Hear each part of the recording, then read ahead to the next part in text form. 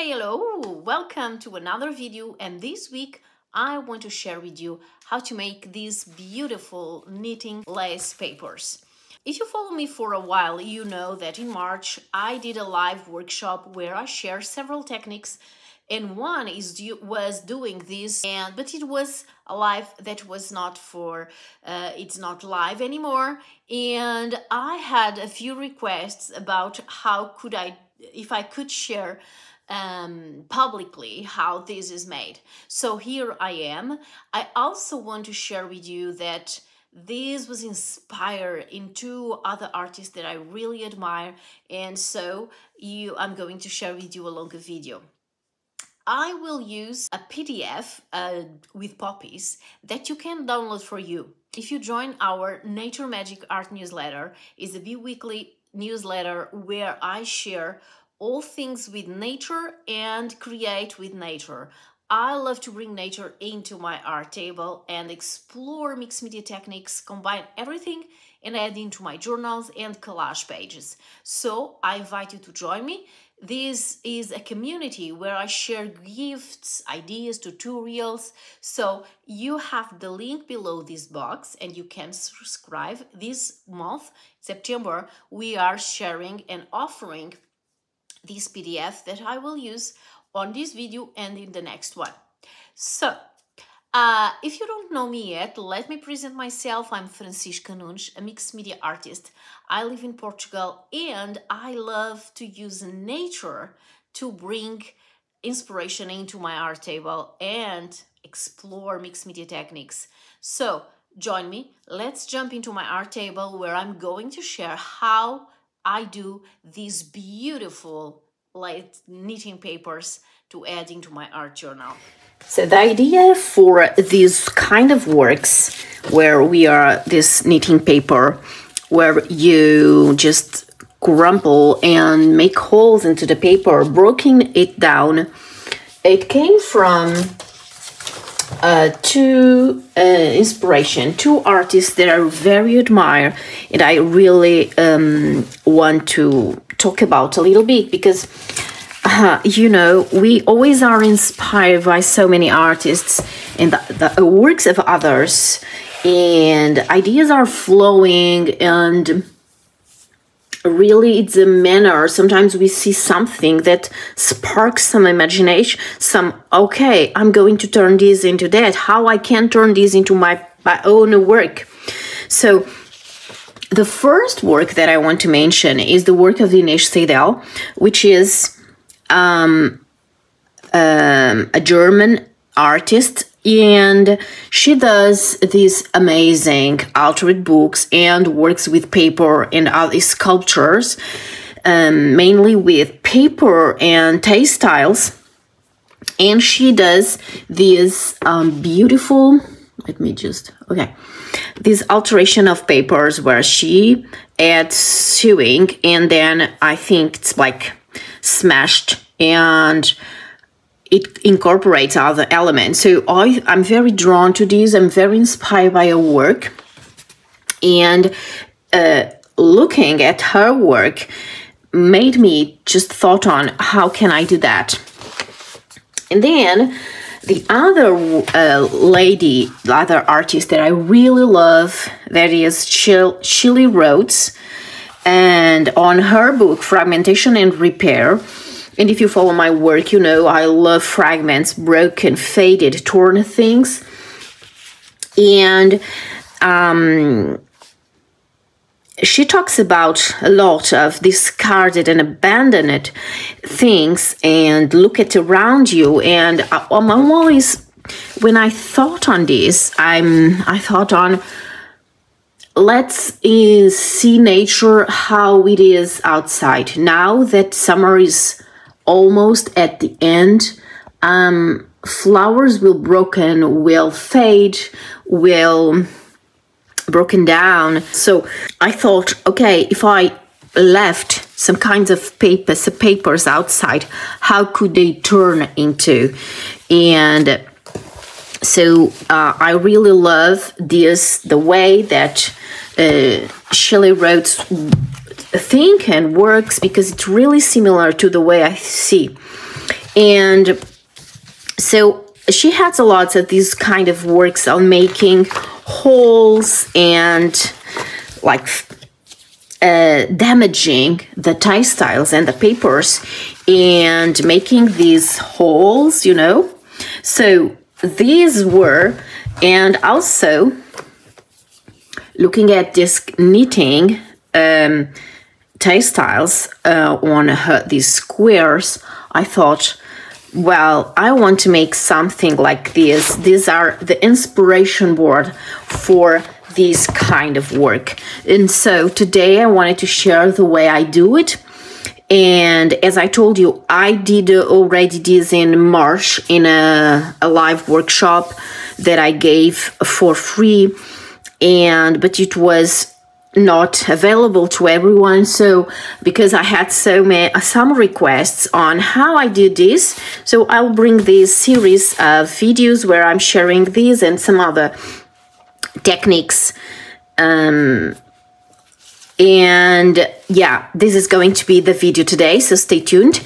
And by the way i will be i will be using these two poppies. If you want to download your poppies and make this knitting paper with these poppies you have the link below to sign up to our newsletter. So without further ado let's go and start our knitting paper. The first thing we are going to do is to use a sewing machine and we are going to um, make um, stitching along the paper okay? We are going to stitch our uh, vertical lines and then cross the horizontal lines to make like a square.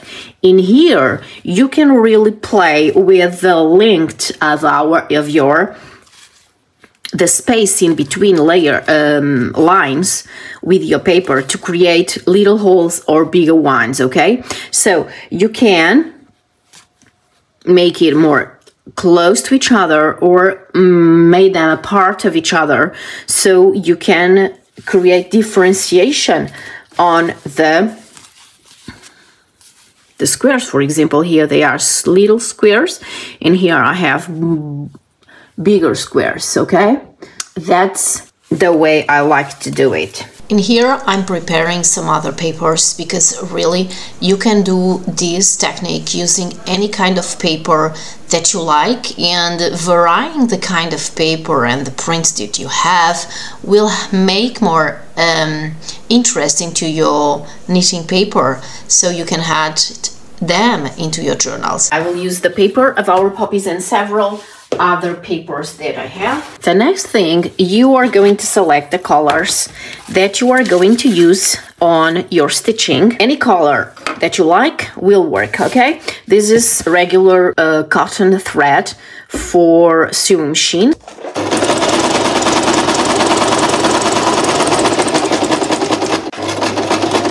A thing that is important to do um, is first tip um, you're gonna use um, a paper needle but I just don't take care on that. I use any kind of needle machine that I find. So here, when we go to the, the end, we are going to stitch a little more to have a more wide thread after we move the, the thread to the other side. So when we are um, just fragment our paper, the thread don't go away because we have a continuation of thread all over the, the paper, okay? So you are going like this and you create another thread. So now I have space enough to go and do it again.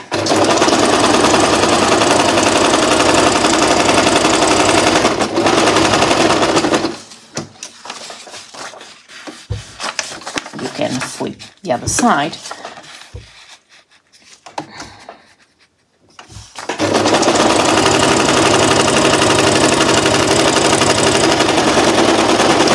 If you do it all in the same size side, you have all the thread in the same color. If you change, you are going to have, unless you have in the other um, under the needle the thread in the same color. If you have another one, you will have changing colors, right?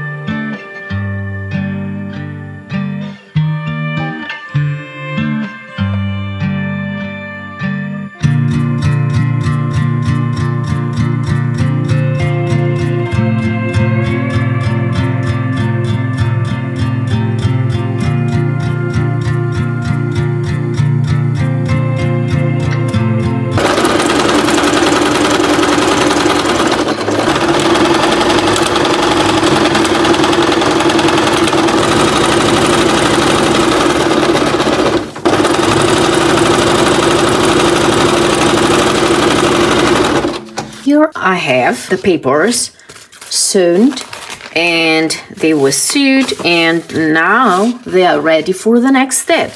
And for what we need is a container with warm water and a plastic so we don't do a big mess. And the first thing I'm going to start with this one. We are going to just submerge this into the water. And because it's wet because it's water and because it's warm it's going to you see the paper very thin now.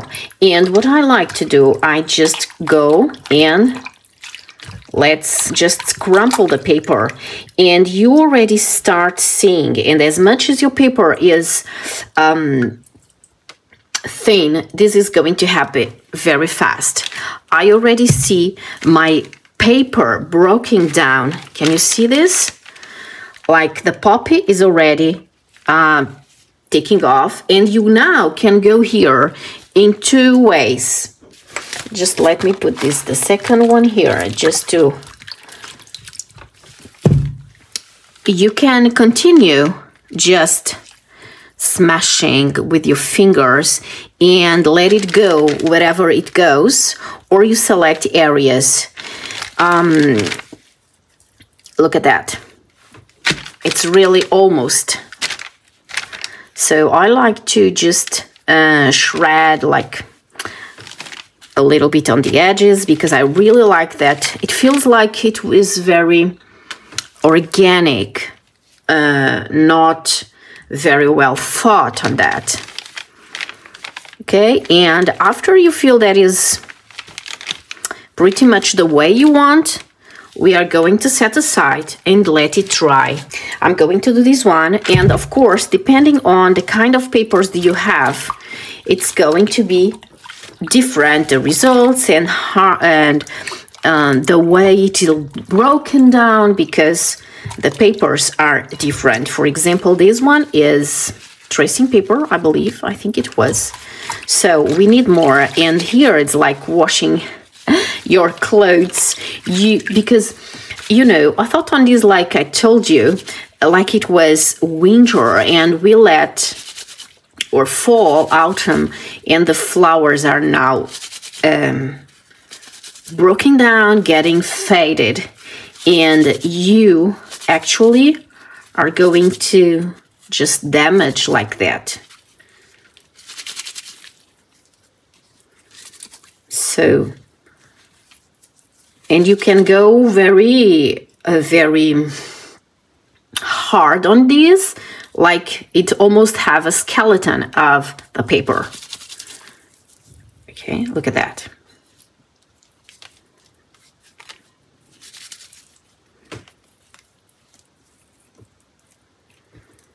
It's going to then dry, really like going to just damage a little bit here.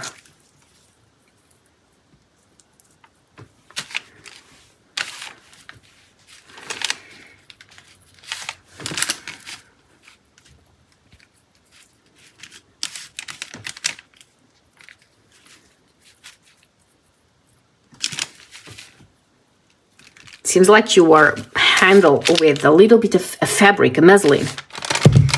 So here we have the other one. So you start to see the paper crumpling and falling apart already. I'm going to just um, with the fingers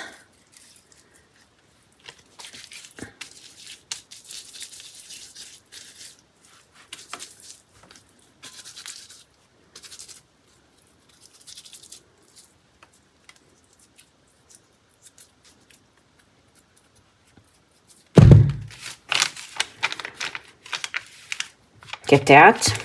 We have these falling parts here then after dry you can take that off or you can just see if uh, there are parts that you still want to take off and you can submerge again in the water and take it apart. I'm now going to let this dry very well and then see what i want to go what i want to do from here. To fasten the process we can add this in between towels and then absorb the most of the water and then with a heating source we are going to dry.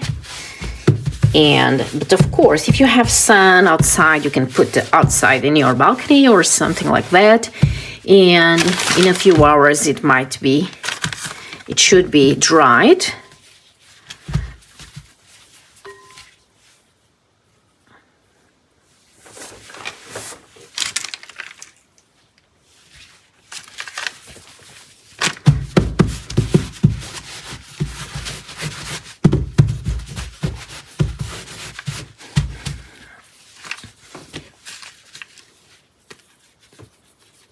if you see that you need a little more, we can just go ahead and continue fragment our paper.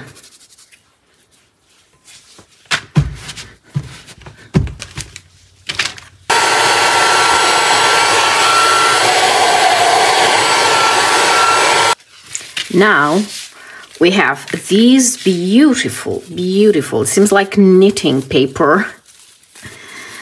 Uh, and you can fragment it more or less depending on what you want. You know, and these leftovers that turn upside down, you can take them off or embrace them and let it there. I really like this white um, showing up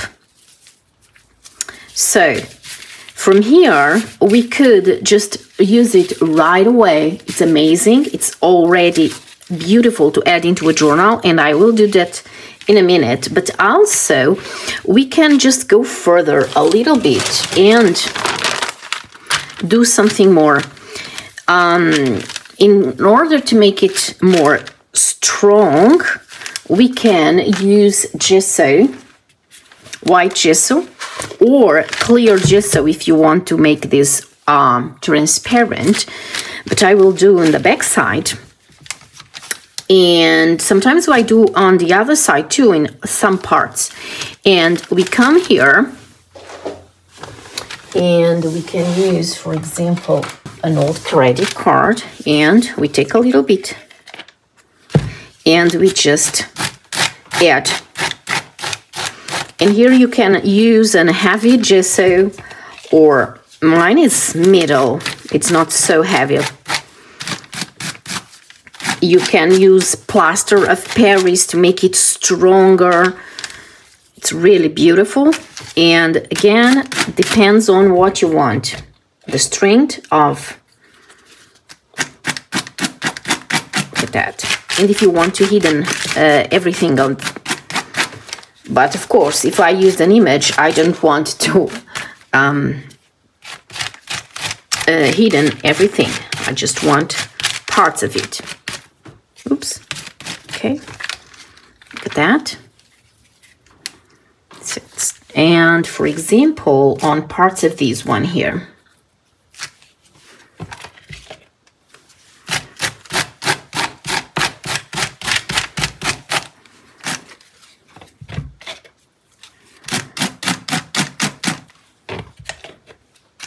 So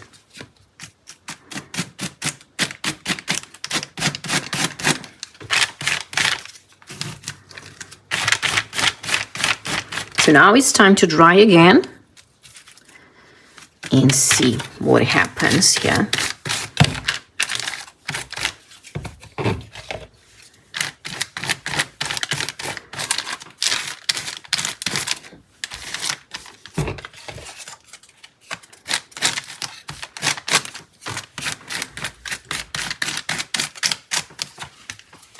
Awesome, love it. So they are very well dried and now with the um, gesso they are more strong, more incorp more embodied and it's really a beautiful way, beautiful element to add to a journal. So I would use these beautiful papers inside my journals or as an a page by itself. I would sew these for example like this one. Uh, this one is glued but i would we can glue or sew. I think i would sew for example let me see. But here i love this because in here I would sew like this here. Because it seems no like this yes was turned upside down. Because it seems like I have here the rest of the poppy and it seems like the underneath is a poppy. And then we flip and we see this rose and this um, old blank part in here. So it would be an amazing adding into my flowers journal or I would add uh, parts, just parts of it, like embellishments of pages. For example, let me see if I could cut these.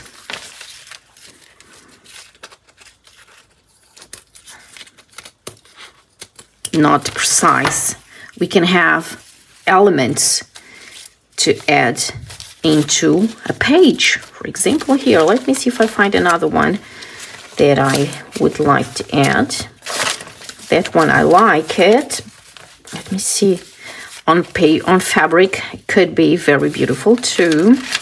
Hmm.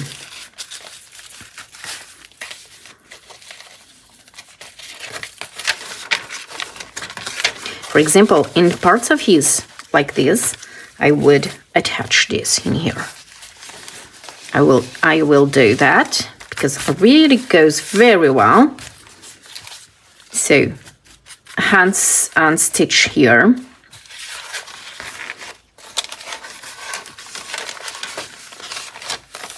As an element of a page like these.